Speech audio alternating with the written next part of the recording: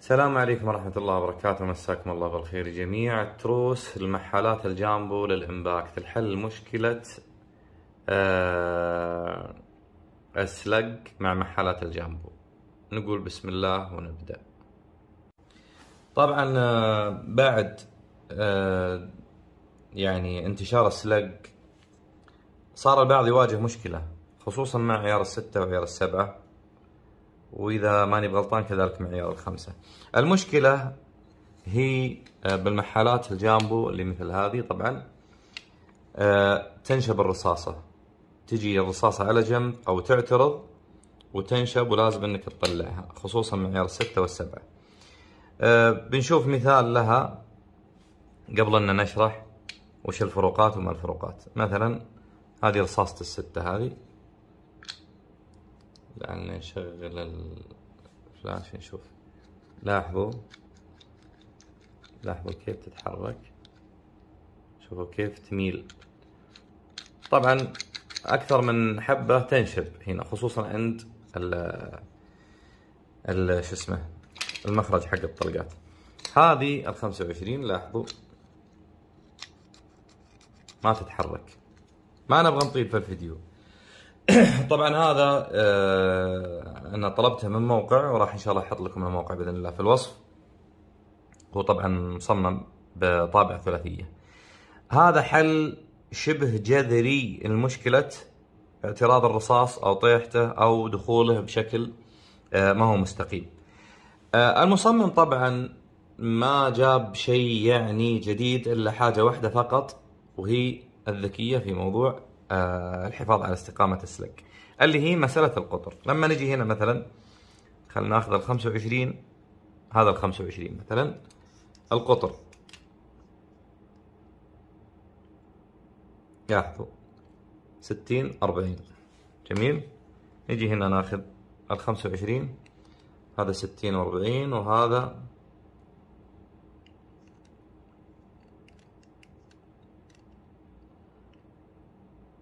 لاحظوا 63 زاد تقريبا 3 آه 3 ملي إيش اللي صار؟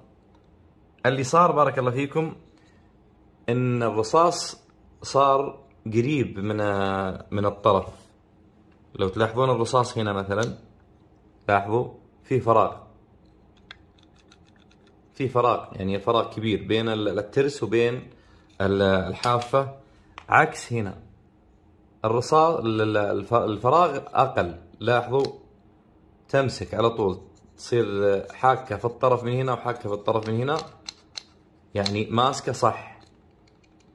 وهذا هو اللي يخلي الرصاص ما يميل ولا يدخل يعني بشكل غير مستقيم.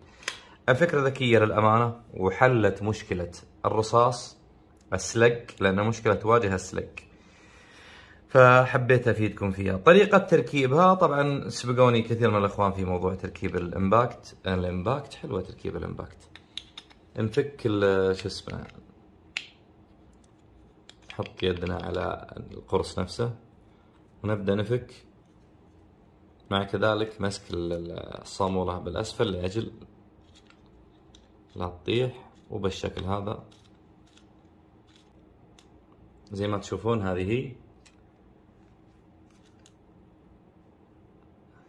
هذه الرمان والسبرينج.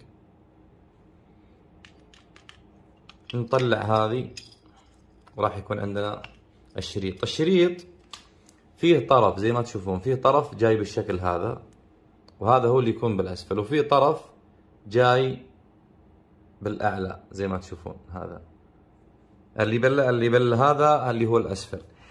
نجي بعد ما نركب مثلا هذه كم؟ هذه ال 25 هذه ال 25 بنركب عليها. بنركب عليها ال 25 هذا. نيجي نحط الخمسة نيجي ونحط طبعا هنا فيه فتحة لاحظوا؟ وهنا في خط واضح الخط هذا. نجيب ال spring طرف السيم هذا اللي بارز. نحطه بالشكل هذا. زي ما تشوفون. نيجي الآن ونضع هذه نفس القطعة الكبيرة هذه نضعها على نفس هذا لأن بناخذها دورة كاملة. فنحطها بالشكل هذا بالشكل هذا. بعدين ناخذها دورة كاملة ونبدأ نرفعها شوي شوي لأجل لا يطلع الشريط من مكانه.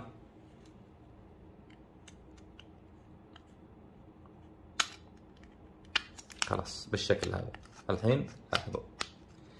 نجي الآن نرجع ال spring.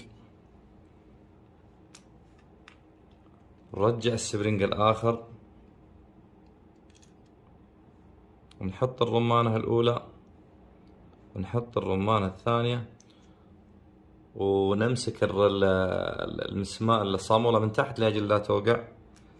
ونأخذ القطعة. ونركبها.